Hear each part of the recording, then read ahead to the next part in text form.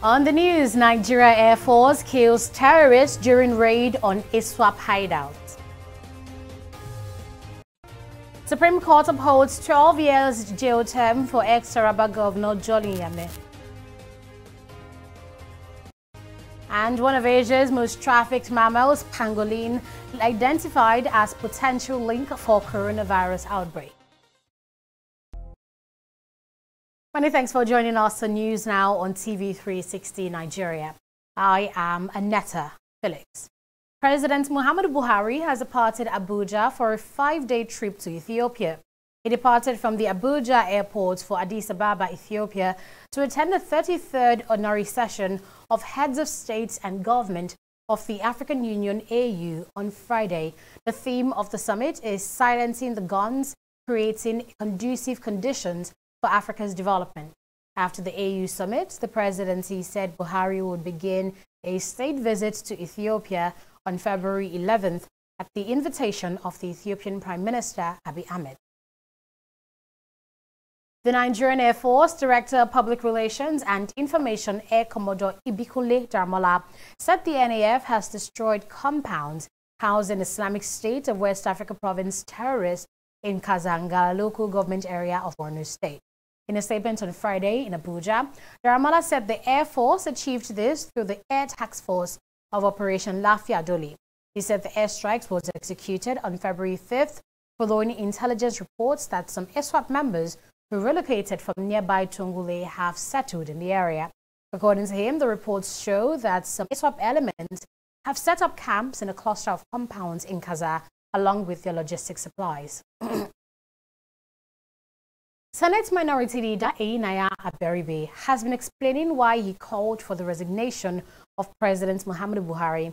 In an exclusive interview with TV360 Nigeria, the lawmaker explains that a lot more needs to be done to tackle insecurity in the country. And he also expresses thoughts on the 2023 Igbo presidency project. Sinji Oye now reports. Mr. President, because we have to get to the root of this matter. I can only say one thing.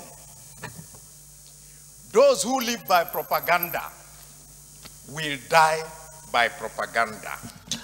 Uh, minority leader. He made headlines when he called for the resignation of the president. He has been called many names on the account of this, while some of his colleagues also criticized him for the call. But Senator Ayinaya Baribe is not backing down.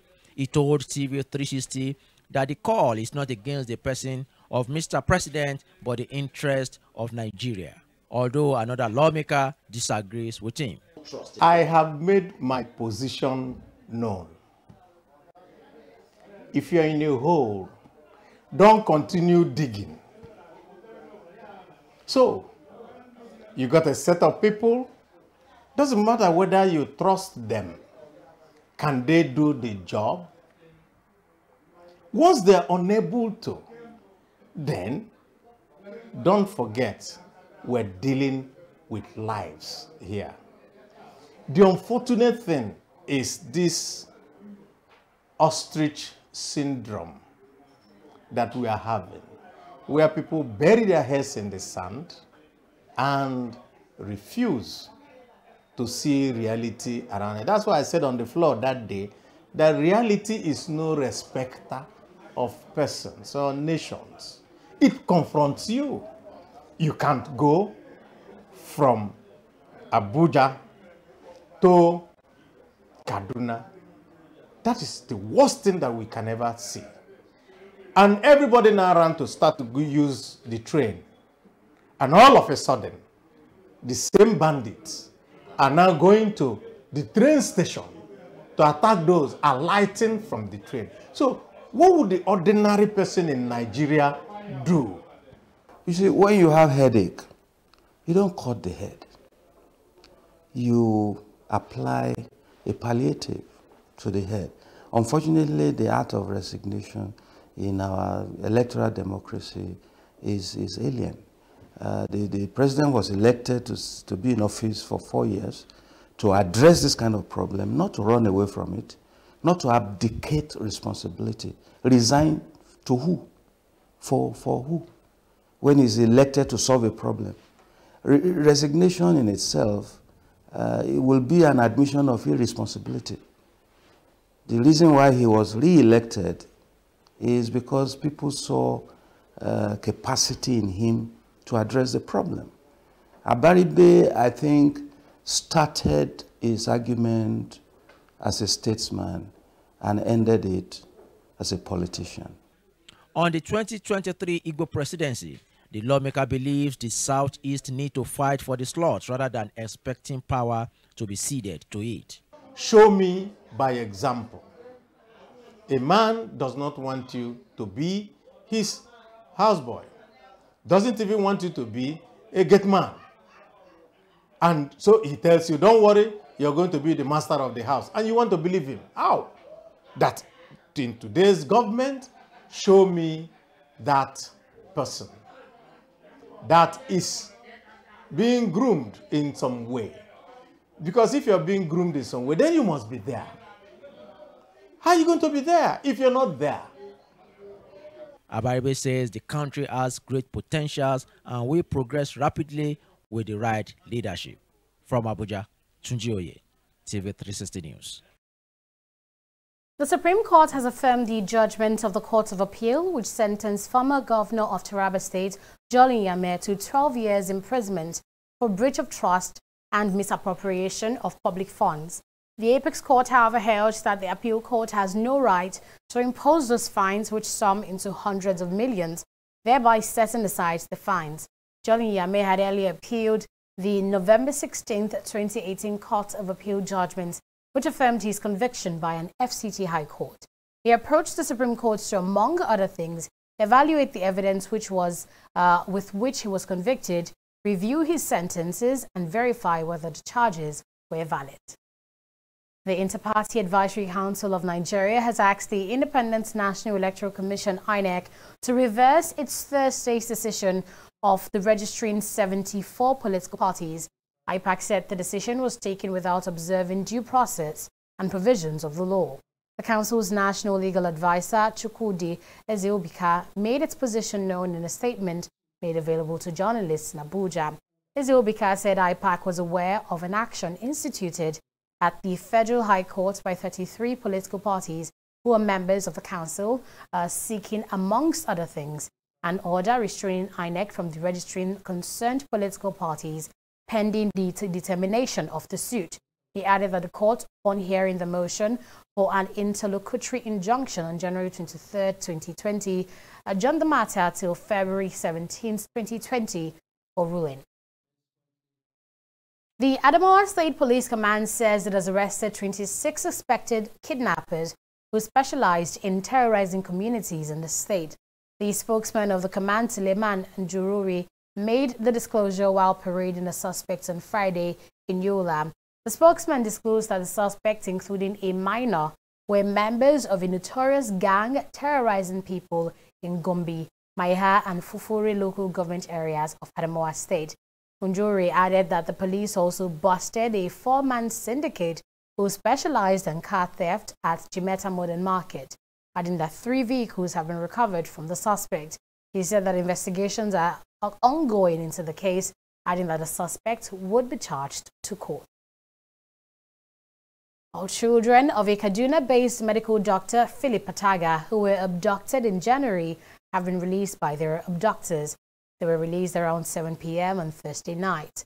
The two children, who are identified as Christabel and Jasmine, were abducted alongside their mother from their residence at Juji area of Chikun local government area of Kaduna State on January 25th. The kidnappers had earlier demanded 150 million naira ransom for their release, but killed their mother after the family failed to pay the money. The efforts of security agencies in Nigeria to reduce insecurity has received a massive boost following the official launch of Prime Alert Nigeria. Prime Alert is an SOS alert system that helps protect and save lives it is founded with the intentions to bridge the communication gap between the distressed citizens and emergency response agencies within Nigeria. Speaking at the launch in Abuja, Chief Operating Officer of Prime Alert Nigeria, Ibok Ofyong, says the success of the app is a function of an engagement with core emergency services and first responders in the country. Once you're feeling unsafe, all you need to do is simply press that button, this SOS button, and it goes round. We have a line that goes round. What that does is that it triggers, you know, an alert to us, and then it sends a text message to your five carers. Okay. Once that happens, what we will do on, our own part is that we would try to contact you first, and then contact your carers, and then also contact the responders that's which is the police dilemma, based on what kind of emergency you have. Okay, so the whole idea is because we know that a lot of people do not have access to numbers to reach the police, or most people don't even have uh, those numbers saved on their phones. But this is easier because instead of you scrolling down and search looking for you know a number to dial, just press the button, and within a second, you know, it just sends out text, and all your responders receive the text message.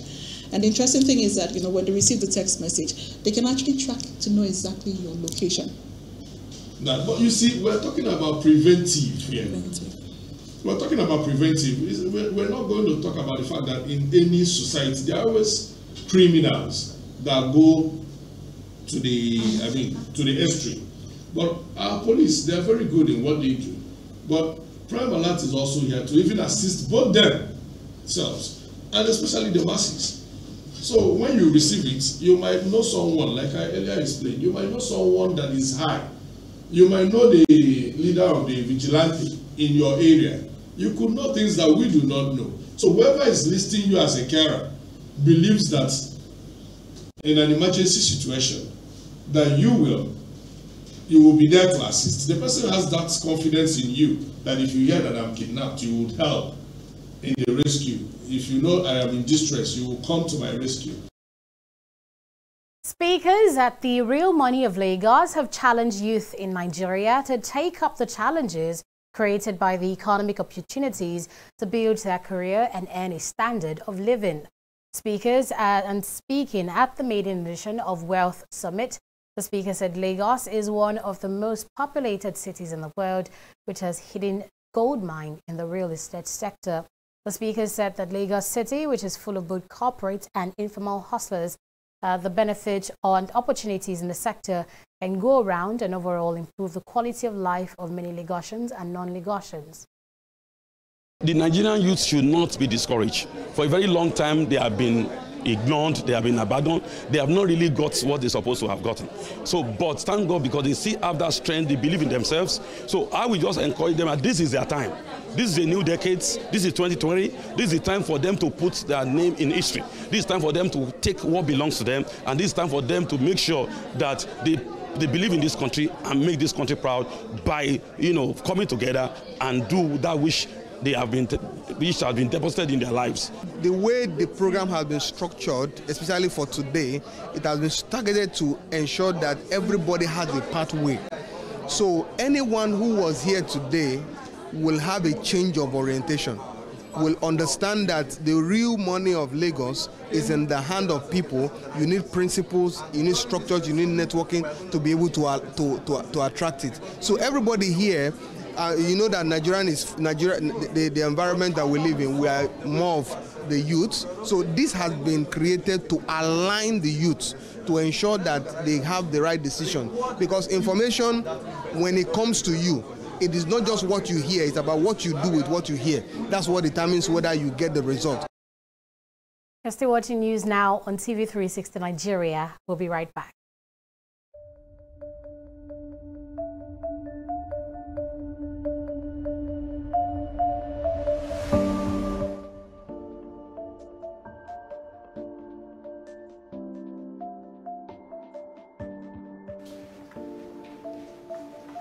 Hello Lagosians, my name is Akin Abayomi. I'm the Commissioner of Health for Lagos. I'm here to tell you about this new infection that's going around the world. It's called the coronavirus.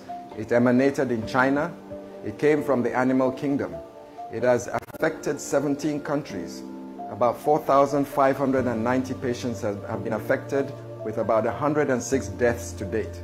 It has typical symptoms, headache, running nose, cough, sore throat, muscle ache, high fever, difficulty breathing, pneumonia perhaps, And if you feel that you are experiencing any of these symptoms and you've had a contact either by virtue of travel to Southeast Asia or people that have come from Southeast Asia, we would like you to present to one of our general hospitals. Here in Lagos, we're ramping up our capacity. Our general hospitals are getting more in tune with this situation. We're increasing our surveillance at the airports. We're building our emergency operations center where we can harmonize our response to this infection. Please, Lagosians, take this situation seriously and contact any of the numbers that we're going to display on the screen for you. This message is from the Lagos State Ministry of Health. Ìgbéga ìpínlẹ̀ Èkó ó ti di àjùmọ̀ṣe Èkó. Whilst the crash nurseries are being rescued alive from possessed rubble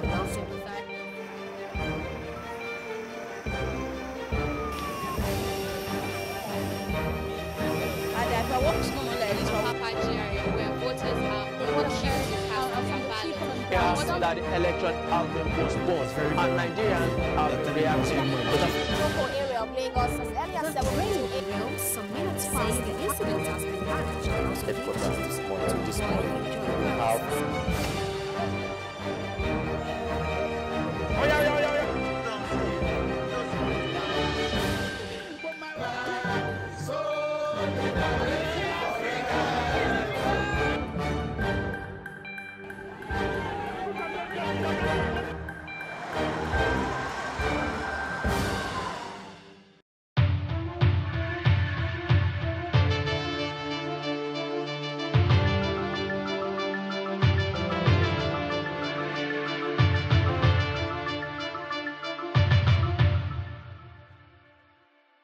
welcome back, and it's over now to Onyi Adekunle for the latest business story. Thank you, Aneta. Nigeria's external reserves recorded a decline from $42.54 billion as of the beginning of 2017 to 38.07 billion naira as of the end of, of December. The $4.47 billion decline, according to data obtained from the Central Bank of Nigeria, represents a decline of 10.5%. Foreign exchange reserves are assets held on reserve by monetary authority in foreign currencies. These reserves are used to back liabilities and influence monetary policy. They include bank, foreign banknotes, deposit bonds, treasury bills, and other foreign government securities. These assets serve many purposes, but are most significantly held to ensure that the government or its agency has backup funds if the national currency rapidly devalues. The Federal Inland Revenue Service, FIRS, says it is targeting about 8.5 trillion re naira revenue for the country in 2020. The executive chairman of the FIRS, Mohamed Nami, disclosed this at the 2020 corporate plan retreat in Abuja on Friday. Nami said that the 2020 target was slightly lower than the 2019 target by about 300 billion naira.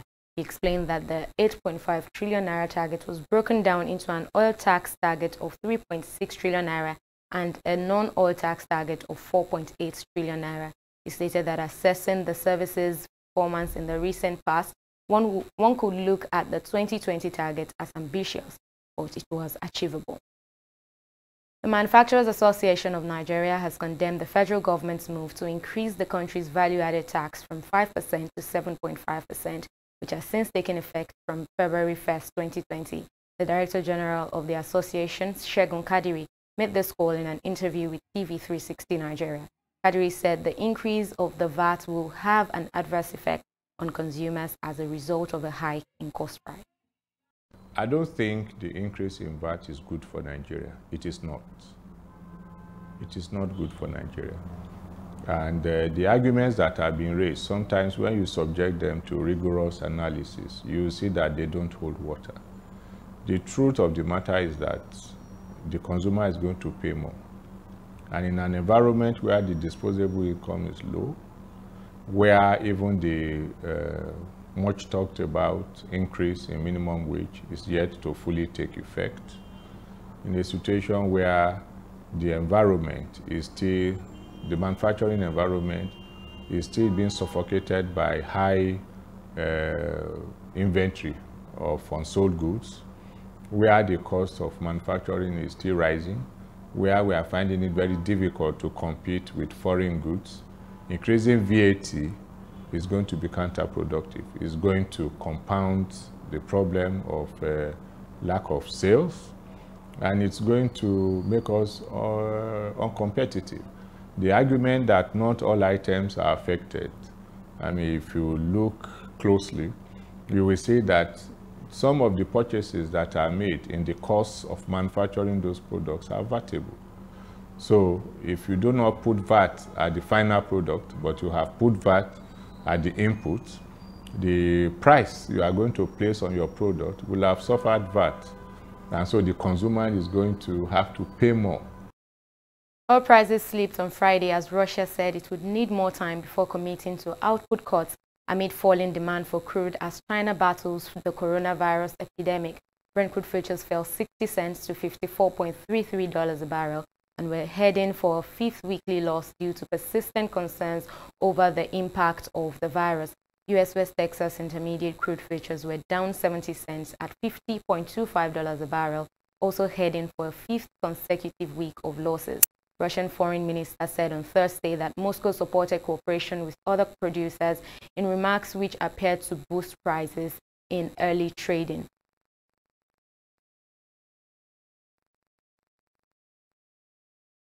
We'll take a short break here and return with stock market review. Please stay tuned.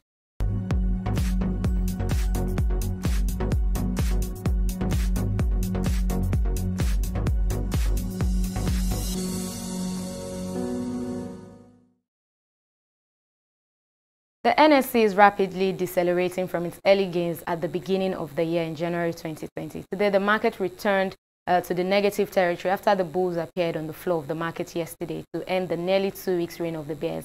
As the NSE prepares for demutualization, the market reversed all the gains from um, previous session, and that's from the one-day breakthrough uh, yesterday to close the week at 0.26 uh, percent lower. At the close of transactions today, over 300 million uh, units of shares worth 6.3 billion naira exchange hands in 4,243 deals. And moving on to the top gainers, we see that uh, the chart was led by Flour Mill. We also have Julius Berger and uh, Dangote Sugar and BUA Cement also made significant gains on the floor of the market today. On, uh, on the flip side, the losers, MTN Nigeria, Cadbury, and um, C&I Leasing, Guaranty Trust Bank all failed to perform well on the floor of the market today. Moving on to the foreign scene, it was all bearish. Uh, basically, what's happening is global stocks are generally down as coronavirus fear gripped uh, investors.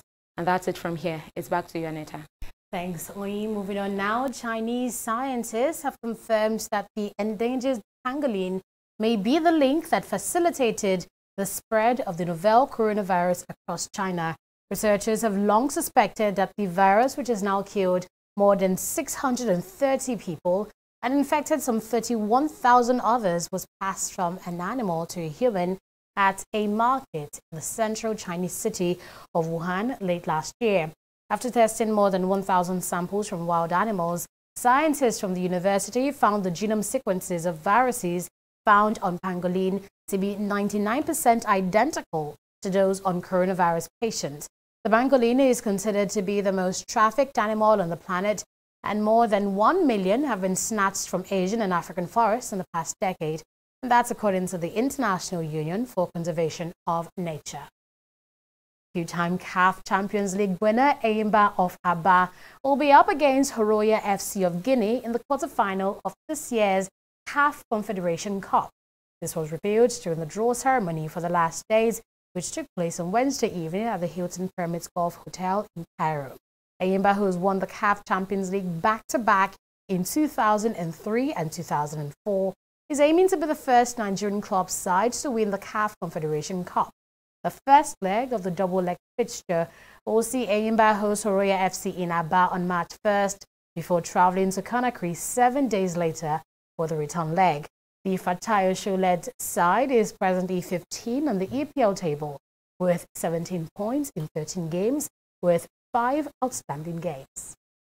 And that's it. News now on TV360 Nigeria. I am Anetta Felix. Thanks for watching.